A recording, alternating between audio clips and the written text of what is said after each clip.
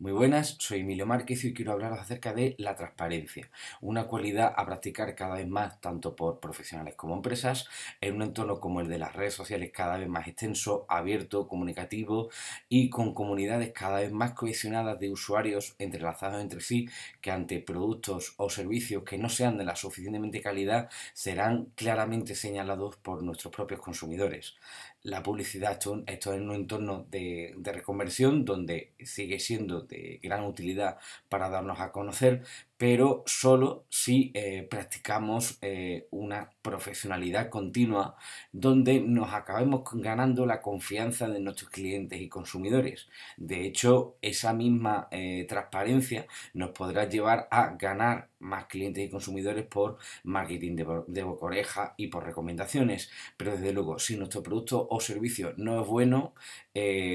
nos darán caña. Y si intentamos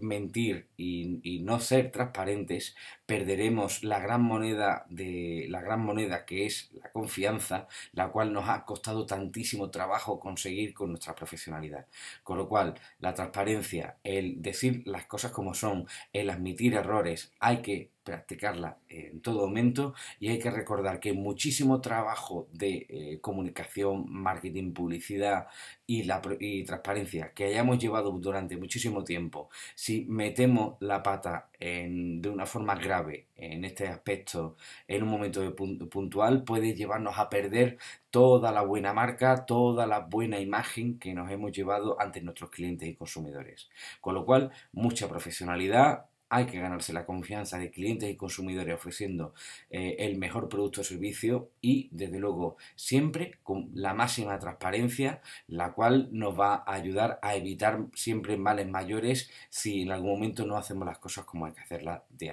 de adecuado y de bien. Espero que este vídeo os haya gustado, por favor un like, un me gusta, os lo agradezco, comentarios de este mismo vídeo y por supuesto nos vemos en redes sociales. Saluditos.